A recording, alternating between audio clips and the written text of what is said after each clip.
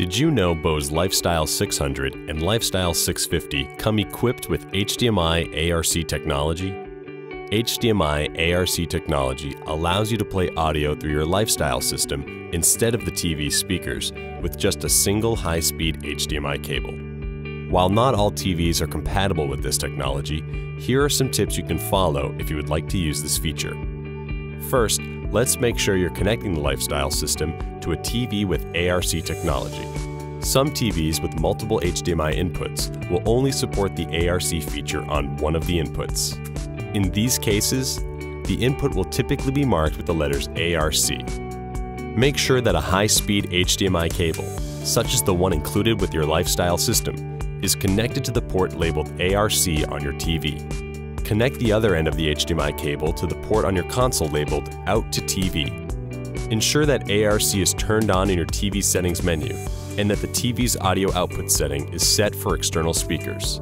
This may be labeled something similar to TV speakers off, external speakers, or receiver.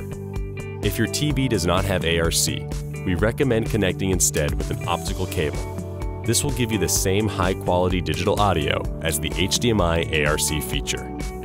Also, make sure that your lifestyle system and TV's firmware is up to date by checking for and installing any available software updates. If you're unable to hear sound from your lifestyle system, we recommend following these steps in order. First, disable the HDMI CEC setting. To do so, turn on the system and press the Setup button at the bottom of the remote. The Unify menu will appear on the TV screen. Select the CEC settings menu and then select Off.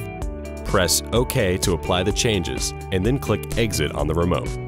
Next, we'll need to re-establish the communication between the TV and the console. Power down the TV and lifestyle system, and then unplug the power cords for both your TV and console. Now disconnect the HDMI cable from the TV and wait for one minute. Once a minute has passed, you can plug in the TV's power cord and power the TV back on. Plug your console's power cable back in and power it on. Reconnect the HDMI cable to your TV's HDMI ARC port and then click the TV input button on the remote. Now re-enable the HDMI CEC feature. Your lifestyle system should now be outputting any audio that the TV is playing.